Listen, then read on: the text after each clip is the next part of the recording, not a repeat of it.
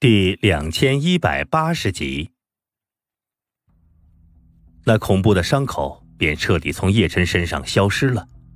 叶晨的面庞上带着淡淡的笑意，气息无比平稳。这不是安然无恙，什么是安然无恙？叶晨竟是硬生生的承受了魔飞羽与魔麒麟这两名天神境巅峰强者的全力攻击呀！不说魔飞羽，那惊天震悚的剑光风暴。就是魔麒麟，他身上的倒刺每一根都是蕴养了上万年的，为的就是施展着惊天一击，其威力比之魔飞羽的那一剑只强不弱。可即便如此，两人的攻击还是对叶晨无法造成丝毫伤势，太恐怖。叶晨冷冷一笑，这一次他的实力提升到了混沌境六层天，可不是单单一项的提升，而是全方位。尤其是岩碑的神脉对战力的提升，无论是生命力、力量、灵力、神魂等等等等，都有所提升。不过叶辰也感觉自己的力量到了一个瓶颈，若是想要继续提升，恐怕需要的机缘会不一般。这一下，魔飞羽和魔麒麟真的是没有任何与叶辰继续战斗的想法了，他们的精神已经彻底的被叶辰的强大所摧毁。以两人的实力，比那在场其他魔族更能体会到叶辰的强大。下一刻，魔飞羽与魔麒麟毫不犹豫的一转身，朝着两个方向逃遁而去。那万众魔族都愣住了，魔飞羽与魔麒麟逃了，竟然违抗魔皇的命令逃了？难道在他们心中，叶辰比之魔皇陛下更加恐怖？魔麒麟与魔飞羽知道自己逃了，等到魔皇降临。他们百分之九十九会死，可现在留在战场上面对叶晨，则是百分之一万会死。那倒不如逃，逃了就算是最后死了，也能多活一段时间，不是吗？可逃得掉吗？叶晨的目光瞬间锁定了魔飞羽，魔飞羽的速度确实很出色，他是域外天魔之中的羽魔族，同样是顶阶血脉，不比角魔族差。而羽魔族最擅长的就是速度，魔飞羽不仅是羽魔族，更是羽魔族中的天才，速度至上，能超越魔飞羽的很少，所以魔飞羽对于逃跑还是很有自信的。可惜的是，他遇到了叶晨。叶晨神脉开启之后的提升是全方位的提升，这其中自然也包括了速度。叶晨目中寒芒一闪，淡淡道：“极武。”神闪，下一刻，其身形从原地消失，一瞬间便出现在了魔飞羽的背后。咔嚓一声轻响，一柄长剑洞穿了魔飞羽的胸口。魔飞羽难以置信的看着胸前的剑刃，呕着鲜血，喃喃道：“你，你的速度怎么可能？”叶晨淡淡道：“你确实很快，但比我还差了一丝丝。”说罢，毁灭神道从剑锋之上爆发，瞬间将魔飞羽化为了血雾。然后他一转身，朝着魔麒麟追去。相比于魔飞羽，魔麒麟的速度就太普通了。眼见连魔飞羽都瞬间死在了叶晨手中，魔麒麟竟是一咬牙，止住了身形，放弃了逃跑。突然之间，魔麒麟浑身浮现出无数异样的凸起。竟是要重新长出一根根倒刺一般。他对着叶晨嘶吼道：“叶晨，给我停下！”叶晨看着魔麒麟，淡淡道：“怎么还要攻击？”魔麒麟面色骤然阴狠下来，道：“攻击？连我蕴养数万年的倒刺都无法伤到你，何况是这临时生成的？”叶晨双目一眯，道。你倒是很有自知之明，不过，魔麒麟阴恻恻的笑了，无法伤到你，可是那些人族、妖族、海族呢？叶晨闻言，神色骤然一变，他皱眉道：“你若是攻击了下方战场，可知会有什么后果？不仅是我方战士，连你天魔族的士兵也会死伤惨重吧？”魔麒麟狰狞一笑，道。那又如何？反正你杀了我之后，天魔族的战士也会被你斩尽杀绝吧。叶辰神色阴沉了下来。这魔麒麟倒是很聪明，该怎么办？难道真的要放魔麒麟离开吗？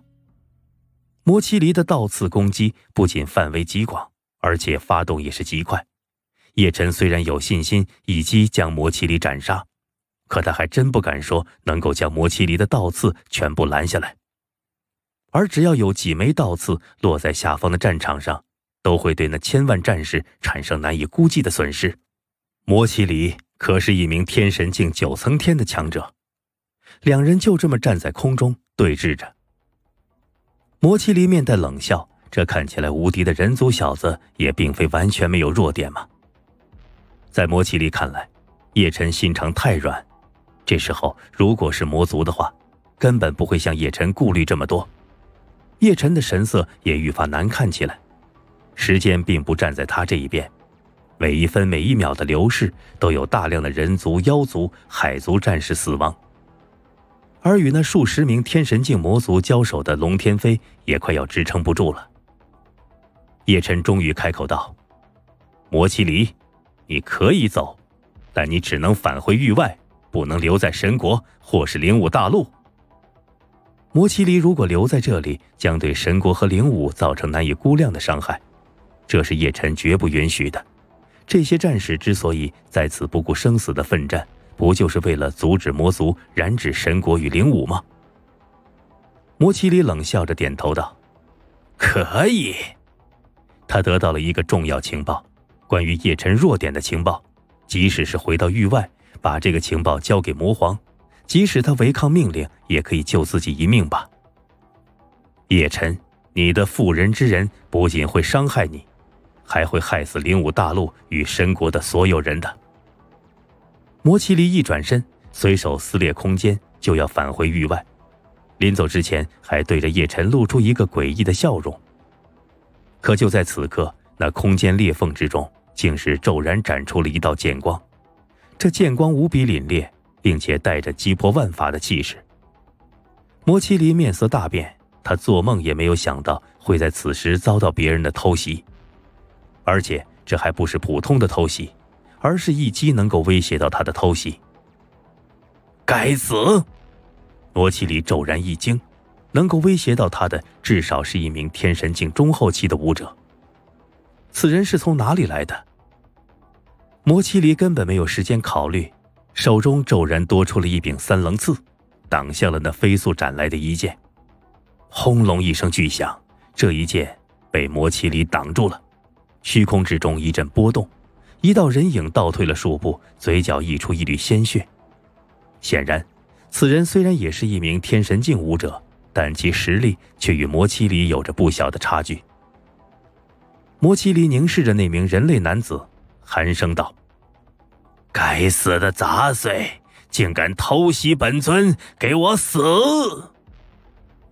眼前这名人类男子实力不算太强，魔气里有信心一出手就将其秒杀。其周身魔气一起，三棱刺上爆起了一道寒芒，就要朝着那人类男子击射而去。可这一招却永远没有机会真正打出了，因为一道剑光闪过，魔气里的头颅。已然与脖颈分离。魔麒麟掉落的头颅在空中旋转之际，呆呆的看着自己正喷涌着鲜血的无头尸体。这一刻，他才猛然想起来，叶晨还站在自己身后啊！因为抵挡了那人类男子一击的片刻，不到万分之一个呼吸的功夫，让叶晨有了出手的机会。轰隆一声，毁灭神道气息爆发。魔麒麟的身体、头颅都化为了血雾消散。叶晨神色淡淡的看着眼前的男子，并不意外。他一挥手，将一枚自己炼制的丹药扔向那名男子，道：“谢谢。”这名男子赫然正是第一神国的极致天才钟齐轩。此时，钟齐轩的修为居然提升了如此之大。叶晨的语气虽然平淡。但感情却是无比真挚的。